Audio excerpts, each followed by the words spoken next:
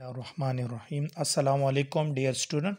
Today we are going to start lecture number 5 of chapter 2 for class 8 and 9 page number 33 in book. Topic है हमारा data तो हमने बार बार ये data का लफ्ज़ यूज़ किया है कि डेटा कलेक्ट किया है और डेटा को हम स्टेटिस्टिकल ग्राफ के ज़रिए एक्सप्लेन करते हैं तो व्हाट इज़ डेटा डेटा हमारे पास है जो हम ऑब्ज़र्वेशन करते हैं उससे स्टेटमेंट आ जाती है हाइपोथेसिस से फिर डिडक्शन एक्सपेरिमेंट से। तो ये सारे स्टेट स्टेटमेंट्स जब हम आ, एक सेटअप इसका बना लेते हैं उसको हम डेटा कहते हैं। यहाँ पे लिखा है recorded observation are call data जो हम ऑब्जर्वेशन करते हैं, उससे जो स्टेटमेंट आ जाती है, या नोमेरिकल फॉर्म में, या कोई डिस्क्रिप्शन फॉर्म में, हम उसको डेटा बोलते हैं।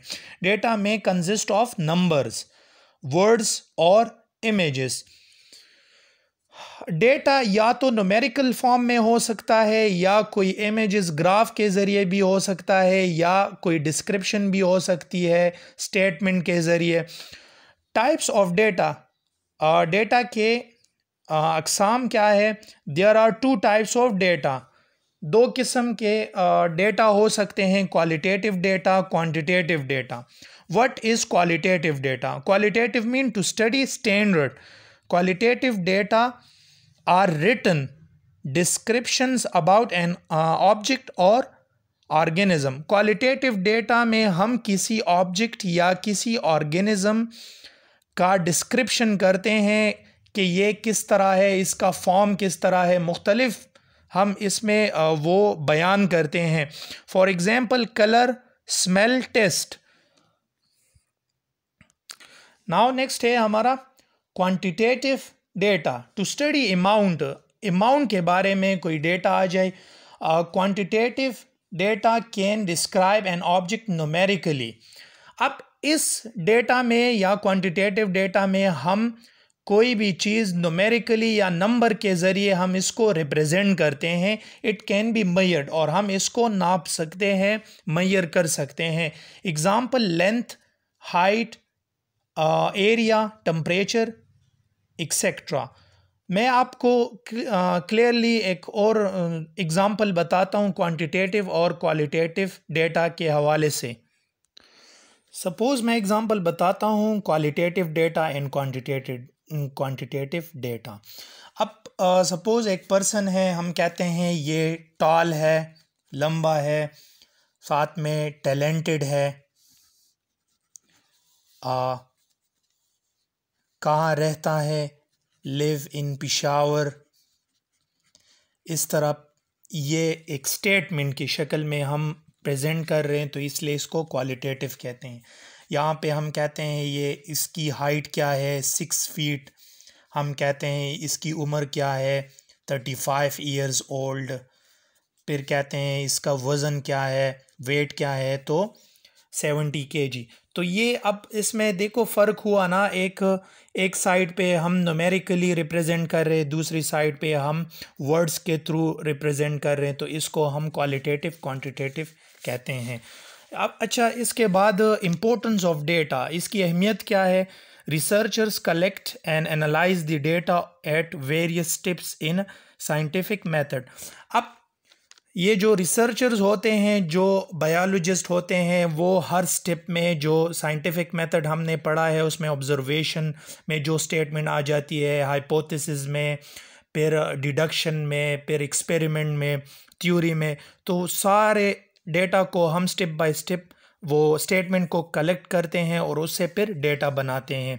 Data helps the scientist to make hypothesis from observation और डेटा से एक ये भी हमें मदद मिल जाती है कि हम किसी ऑब्जर्वेशन से हाइपोथेसिस किस तरह, किस अल्फाज के ज़रिए बनाएँगे, किस किस रेशो के ज़रिए बनाएँगे और किस नोमेरिकल के ज़रिए बनाएँगे।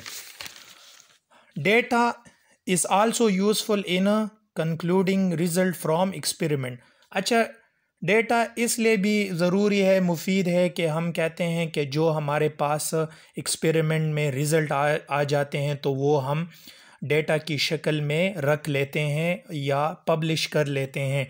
Data will help the scientist to process his work अच्छा डेटा से ये भी uh, ये भी हेल्प हो जाता है, ये भी मदद हो जाता है कि अगर पिछले साइंसदानों ने जो ऑब्ज़रवेशन की है, उन्होंने डेटा रखी है तो फिर और साइंटिस्ट आ जाते हैं। पहले वो डेटा को पढ़ लेते हैं, फिर आगे न्यू हाइपोथेसिस और न्यू एक्सपेरिमेंट करते हैं।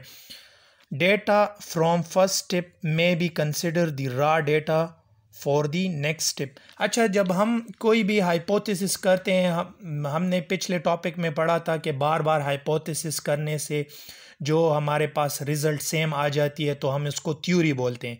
तो इस तरह अगर हमारे पास हम कहते हैं, हम दस हाइपोथेसिस करते हैं, दस हाइपोथेसिस के बाद ये दस हाइपोथेसिस एक्चुअली हमारे पास रा डेटा हो गई।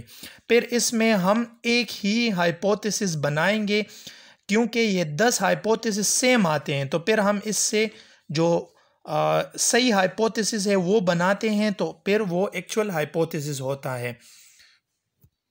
अच्छा नेक्स्ट टॉपिक है हमारा mathematics as an integral part of scientific process integral means important ये मैथमेटिक्स भी साइंटिफिक प्रोसेस का साइंटिफिक मेथड का एक अहम हिस्सा है।